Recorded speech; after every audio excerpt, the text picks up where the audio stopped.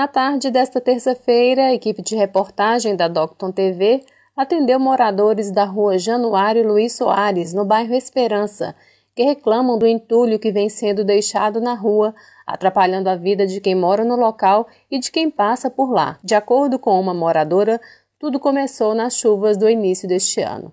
Nas últimas chuvas que tiveram, é, nós tivemos uma vizinha nossa que teve a casa alagada, barranco caiu e a prefeitura veio e explicou para eles que eles tinham que se retirar da casa, que ia fazer a limpeza, né, para eles tirarem os entulhos, o, as terras que tinha caído e jogar aqui na rua que eles depois eles vinham recolher.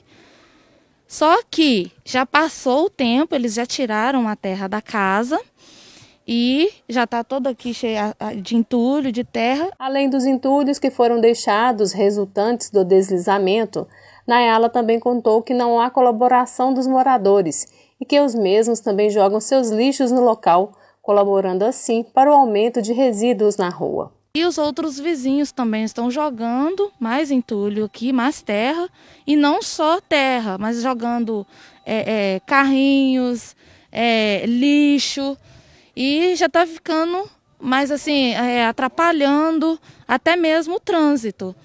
Carro mesmo, é, fica difícil para passar, caminhão, porque o entulho já está muito, muito grande aqui. Outro morador do local também contou o que vem sentindo com toda a situação. Estou sentindo aqui que eles, eles prometeram de tirar, mandaram jogar a terra e a terra foi jogada. A vizinha jogou, e eles não veio cá nem organizar o lugar de jogar, porque jogaram um pouco no meio da rua.